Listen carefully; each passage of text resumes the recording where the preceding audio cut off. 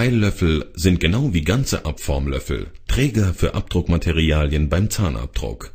Man unterscheidet bei den Abformlöffeln konfektionierte (im Bild oben sehen Sie mehrere verschiedene Typen), individualisierte (unten im Bild) und Teillöffel.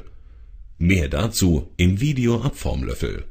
Um Abdruckmaterial zu sparen, werden häufig nur Teillöffel anstelle von ganzen Abformlöffeln verwendet. Oder aber der Abformlöffel wird nicht ganz mit Abformmasse aufgefüllt.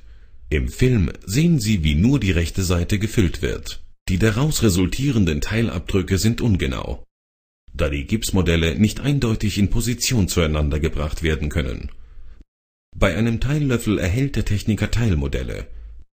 Diese sind zueinander schwenkbar und somit nicht eindeutig zu positionieren. Der Zahnersatz, hier blau dargestellt, ist nicht genau modellierbar.